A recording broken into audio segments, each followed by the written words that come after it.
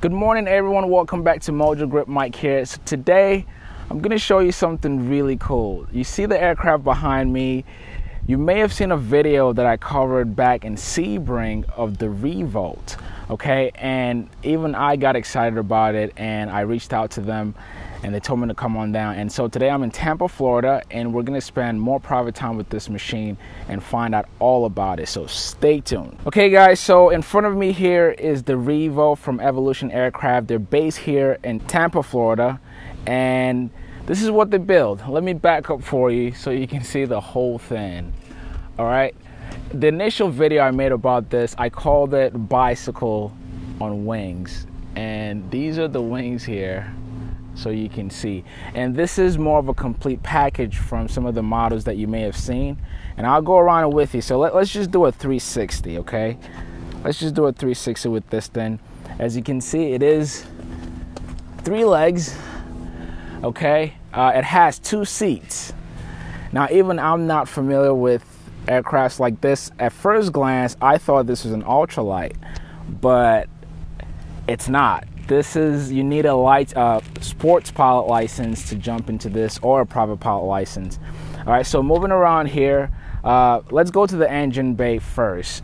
The uh, the standard for this aircraft is a Rotax 912 engine and this particular one has a fuel injected engine. Now if you were purchasing one or buying one today you can have the option to have a fuel injected or the carbureted engine uh, and then obviously performance would would differ based on the one you go with. So if you look, if you look at this, uh, I would call one of the landing landing gear here. All right, you see this right here. Normally in an aircraft, you would see something like this, and this is like your rudder. Uh, uh, in an aircraft or an airplane, but th- these are called roll trims. And generally on trikes, you don't even have this, but on this particular model, you have this trim, and it does serve a function. This generally helps the aircraft stay balanced. So, say for example, you're in a straight and level flight, or you are flying and you notice uh, a little diversion to the right or the left, you just hit a button in, in there because this is electronically controlled, and this will help uh, get the aircraft straight and balanced. So, these are really cool. All right, so let's go let's go around and you look at the prop here. It's a four bladed prop and it says here e prop and these are carbon fiber so they're really light. And this is also an option that you can get uh, with the aircraft. And then moving along you've got another wheelbase here. Okay let's get closer to it. This is your your access to the fuel tank. And look there 91 octane. So you can use auto fuel uh, to gas up this thing which you know that's good news to every pilot because you get to save some money on gas. And something interesting that i found here you see here it says idle throttle full. So generally in your typical aircraft you have the throttle on the in the interior and you do have that uh, in this aircraft also. But the function of this being on the outside is guess what if you're just buying this and you need to train, obviously, your instructor is going to be sitting back here, and the instructor is going to have access to their own uh, power control, and that's what this is for. And also, speaking about instructors, so whoever is sitting back here can also control, have controls there. So, see right here, you have one pedal here, and then you have another one inside there. So whoever is sitting up here, their feet is going all the way in, and whoever is sitting back here, their feet is going right there to have the same controls. Uh, so I think that was that was pretty uh, thoughtful for whoever designed this. So actually, let's go back here to the uh, to what I mentioned earlier as the fuel tank. I mean the the, the access to to gas up this thing. So this actually you can use it to fuel up the uh, the aircraft, but it serves more as a vent. Uh, this is the main entryway to fuel up this thing here because it's it's a lot quicker. If you try to do it through here, uh, what I've been told is that it's a, it's so much more slower than just going through the main axis here. So to uh, to fuel up the, the machine, you basically take off the uh, the seating pad, and there goes your axis there. Um, and then right here, you see a fuel gauge. Again, this is also and I would say complementary to this that you see here. So there's a fuel gauge out here, and generally you can have you know the measurements or whatever on on here. I don't know if that's an option or not. Okay, so you do have an option. You can always have measurement uh, to help you keep track of your of how much fuel is left in the tank. But guess what?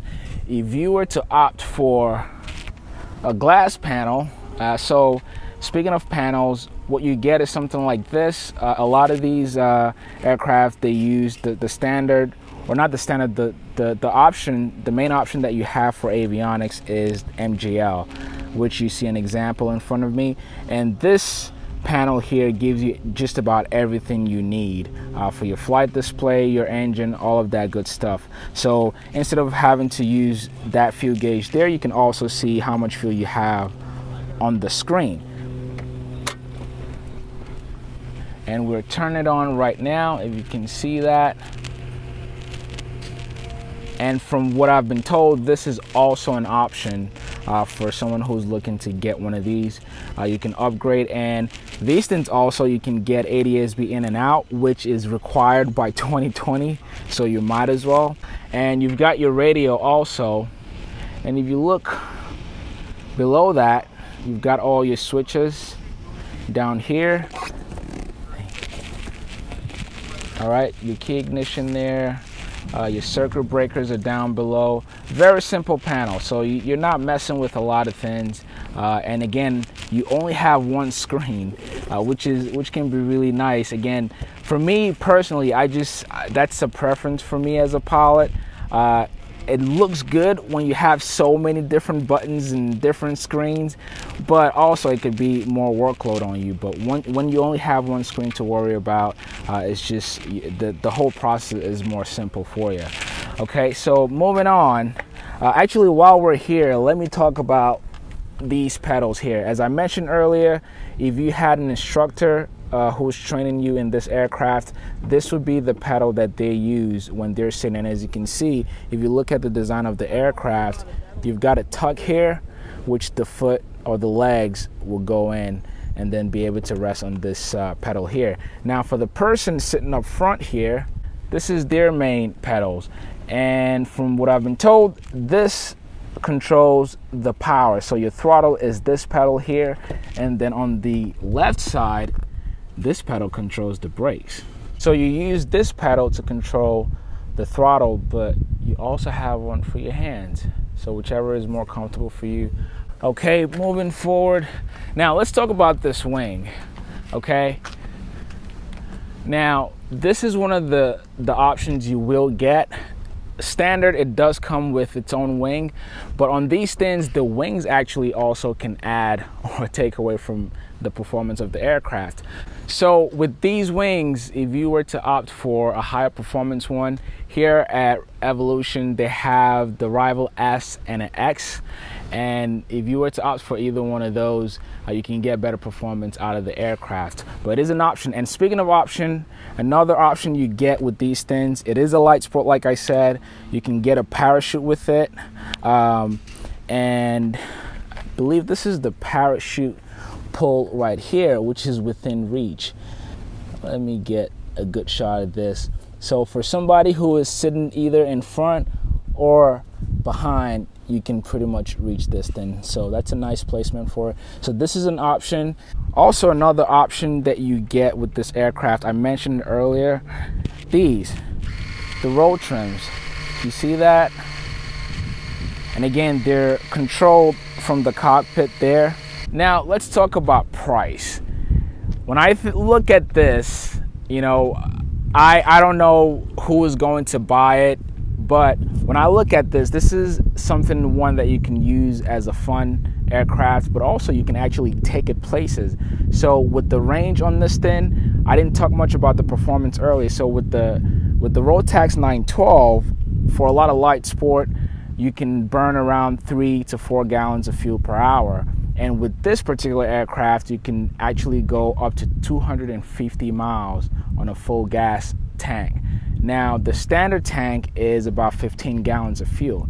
You can always opt for more fuel if you want, uh, about 17 gallons, but from what Larry told me, uh, most people are just good with the uh, 15 gallons of fuel, which is to me is plenty. Now, when you think, okay, how much does this cost? The entry level, which you get almost everything that you see in front of me, is about $85,000. And then the more bells and whistles you add to it, you're looking at closer to $120,000 for this baby. Okay, so this is the review of the Revo. Uh, they have other models in the uh, in the factory here. If I get a chance, I'll definitely uh, review it for you guys. I hope you guys enjoy this one. If you did, please give a thumbs up and let me know if you have any questions. I review this aircraft because I'm also curious about them. So let me know if you have any questions. I'm going to get somebody here to actually answer them for you. All right, I hope you enjoyed it. If you did, give a thumbs up. And if this is your first time, be sure to hit that subscribe button for me. Again, my name is Mike. Thank you so much for watching, and I will catch you guys on the next video.